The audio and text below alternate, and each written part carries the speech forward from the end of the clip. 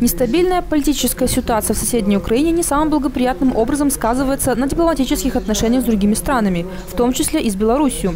Беспорядки на улицах Киева привели к беспорядкам в экономических связях. В этом году внешний товарооборот Украины с Брестским регионом снизился на 88%.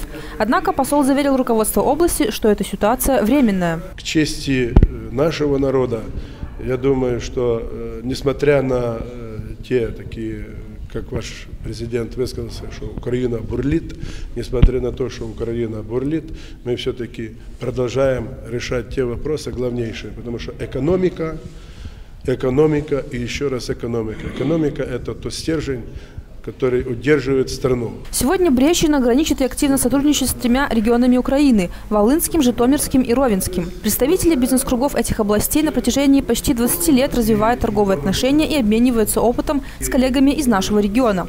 Это касается промышленности, машиностроения, сельского хозяйства и других сфер жизнедеятельности двух партнеров. Сегодня наступило время выгодно вкладывать свои средства.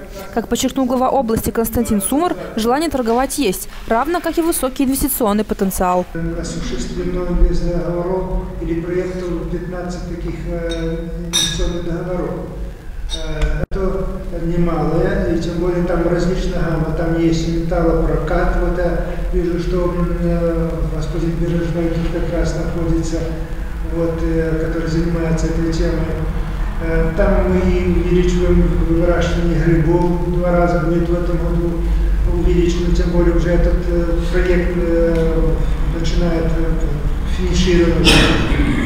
Серьезные строительные, вот есть инвесторы, которые заканчивают ну, расширение своего производства именно отделочных материалов для строительства. Украинские коллеги готовы к сотрудничеству в строительстве, мебельной промышленности, а также металлургии. Однако особый интерес у Михаила Ежеля вызвала такая отрасль, как судостроение. Мы должны сегодня подключить больше логистику, больше подключить реку, больше э, заниматься сейчас судостроением, потому что э, к чести Беларусь сохранила и судостроение, и судоремонтные предприятия, и сохранила практически весь речной флот.